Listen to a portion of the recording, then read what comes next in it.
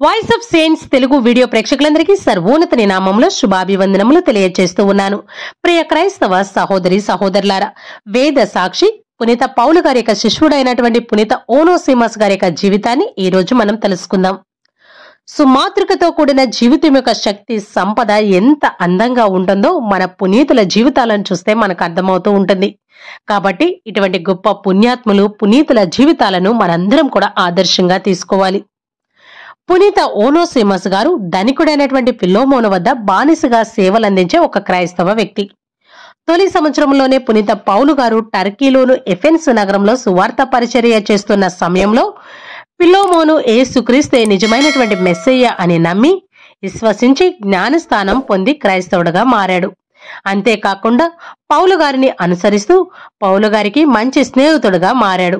కొన్ని సంవత్సరాల తర్వాత ఫిలోమోను ఎఫెన్స్ నగరం నుండి కొలస్సి నగరానికి వెళ్ళిపోయి అక్కడ ఒక పెద్ద ఇంటిని కట్టుకొని అక్కడే నివసిస్తూ ఉన్నాడు.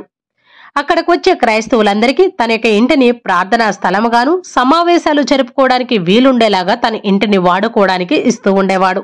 పిలోమాను దగ్గర సేవకుడుగా సేవలు అందిస్తున్నటువంటి ఓనోసిమోస్ గారు ఒకసారి తెలియకుండా చిన్న పొరపాటు చేశారు. యజమాని అయినటువంటి పిల్లోమోను శిక్షిస్తాడేమో అనే భయంతో చెప్పా పెట్టకుండా ఇంటి నుండి పారిపోయాడు. అలా పారిపోతూ పారిపోతూ రోమ్ నగరానికి చేరుకున్నారు. గతంలో ఎఫెన్స్ నగరంలో సువార్త పరిచర్య చేసినటువంటి పౌలు గారు ఈసారి రోమ్ నగరంలో సువార్త పరిచర్య చేస్తూ ఉన్నారు. పౌలు గారిని ఓనోసిమోస్ గారు చూసిన వెంటనే ఇట్టే గుర్తుపట్టేసి పరిగెట్టుకుని వెళ్ళి తనను తాను పరిచయం చేసుకున్నారు. పౌలు గారి బోధనల వల్ల ఓనోసిమోస్ గారు క్రీస్తు అనుచరులుగా మారారు. అదే సమయంలో పౌలు గారికి మొదటిసారి కారాగార శిక్ష పడింది. పౌలు గారిని చూడడానికి ప్రార్థన చేపించుకోవడానికి ఆధ్యాత్మిక సలహాలు తీసుకోవడానికి ఎంతో మంది ప్రజలు వస్తూ పోతూ ఉండేవారు. ప్రజల యొక్క ఒత్తిడిని తట్టుకోలేనటువంటి జైలు అధికారులు పౌలు గారిని ఒక అద్దె ఇంటిలోనికి మార్చి అక్కడే నిర్బంధించారు.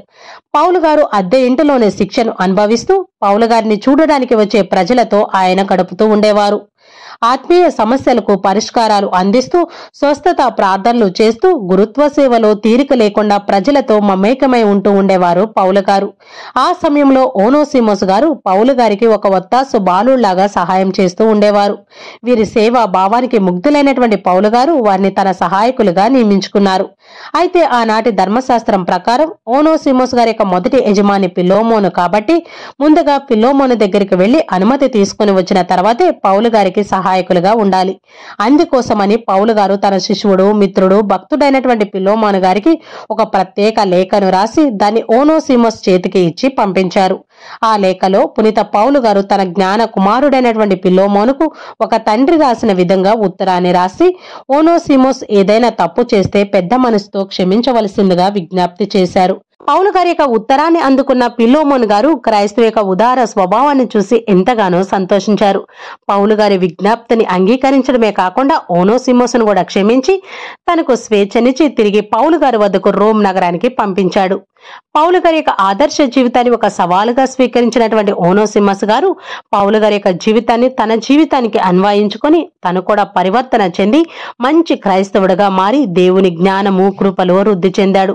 రక్షకుని అనుసరించడంలోనే కాకుండా ఆయన మంచి పనులతో ప్రపంచంలో మంచి గుర్తింపును సంపాదించుకున్నారు.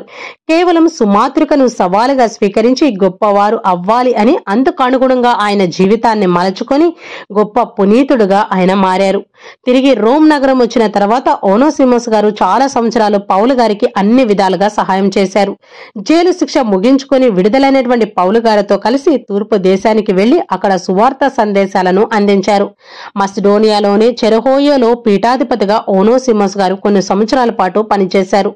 తర్వాత కొంతకాలానికి క్రైస్తవులపై సాగినటువంటి హింసా కాండలో ఓనోసిమోస్ గారు క్రీస్తు శకం తొంభైలో వేద సాక్షిగా మరణించారు.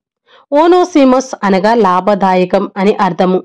ప్రియ క్రైస్తవ సహోదరి సహోదరులారా ఒక బానిస వ్యక్తి క్రీస్తు ప్రభుని రక్షకుడుగా నమ్మి క్రీస్తు ప్రభుని అనుసరించి మంచి కథోలిక బిడ్డగా ఎన్నో సువార్త సేవలను చేసి గొప్ప పునీతులుగా మారారు. కేవలం పునీత పౌలు గారి యొక్క జీవితాన్ని ఆదర్శంగా తీసుకొని ఈ రోజు పునీత ఓనోసిమస్ గారు గొప్ప పునీతులుగా మారారు. కాబట్టి మనందరం కూడా మన యొక్క పునీతుల జీవితాలను ఆదర్శంగా తీసుకొని ముందుకు వెళదాము.